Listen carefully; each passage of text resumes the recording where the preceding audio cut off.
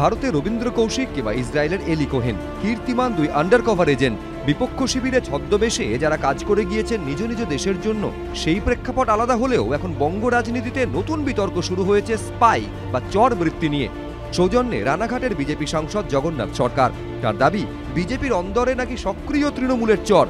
এটা দলের অনুশাসনের ঘাটতির জন্য হচ্ছে, যারাই করুক, সে যদি সত্যিকারের সে তৃণমূলের চর দলের কোনো বরিষ্ঠ কার্যকর্তা হোক জনপ্রতিনিধি হোক কেউ যদি ফেসবুক বা সোশ্যাল মিডিয়ায় ছাড়ে নিশ্চিতভাবে সে বিজেপি হিতাকাঙ্ক্ষী নয় সে তৃণমূলের দালাল সেই শ্রেণির লোককে আমি বলব দল থেকে বহিষ্কার করা বা তাকে শাস্তি দেওয়ার ব্যবস্থা এটা প্রথমেই করা উচিত।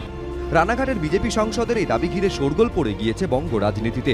এক ধাপে গিয়ে বিজেপি রাজ্য সভাপতির দাবি বিপক্ষ শিবিরের অন্দরেও নীরবে নিভৃতে কাজ করে চলেছেন তাদের লোক। প্রত্যেকটি দল অপর দলের মধ্যে নিজের কিছু লোক ঢুকিয়ে রাখে যাতে সেখান থেকে বিভিন্ন খবরাখবর পাওয়া যায়।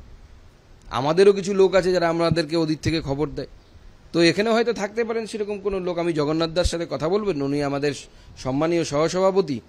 ওনার সাথে কথা বলে জানব ওনার কাছে যদি কোনো স্পেসিফিক তথ্য থাকে জল আগামী দিনে ব্যবস্থা করব বিজেপি রাজ্য সভাপতি সুকান্ত মজুমদারের বক্তব্য প্রসঙ্গে কোনো রাগঢাক না করে পাল্টা চাঞ্চল্যকর দাবি করেছে তৃণমূল।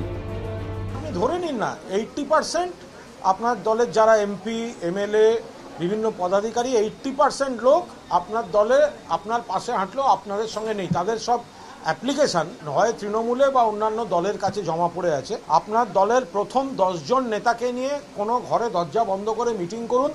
মিটিং শেষ হলে আমায় ফোন করবেন, আমি বলে দেবো আপনাদের ঘরে কী কী আলোচনা হয়েছে। বিজেপি পার্টি থেকে এত বড় চরবৃত্তি কার ক্ষমতা আছে? ডিজিটাল এসপিওলজি করে প্যাগেসাস দেখেছেন? প্যাগেসাস ব্যবহারের মাস্টারকে বিজেপি পার্টি। তো চরবৃত্তি তাদের সৃষ্টি। এ বাংলাতে এটা আছে, আমরা জানি। কিন্তু এটাকে আরও ফাইন টিউনিং করছেন মোদি। প্যাগেসাস তার সব থেকে বড় উদাহরণ। পশ্চিমবঙ্গ সরকারও করে, পশ্চিমবঙ্গ সরকার রভাবে করে। পুলিশ দিয়ে সিভিক পুলিশ দিয়ে, এমনি পুলিশ দিয়ে, পয়সা দিয়ে, র ফর্মে সম্প্রতি স্পাইবার পেগাসাস ইস্যুতে তোলপাড় হয়েছিল দেশ। ইসরায়েলি প্রযুক্তিকে হাতিয়ার করে বিশিষ্টদের পাশাপাশি বিরোধী রাজনৈতিক নেতাদের ফোনে আড়ি পাতা তথ্য হাতানোর মতো গুরুতর অভিযোগ উঠেছিল। উনিশশো একানব্বই সালে লোকসভার তৎকালীন বিরোধী দলনেতা রাজীব গান্ধীর বাসভবন দশ জনপথের সামনে চা খেতে দেখা যায় হরিয়ানা পুলিশের দুই কর্মীকে, জানিয়ে গুপ্তচর বৃত্তির অভিযোগ করে কংগ্রেস।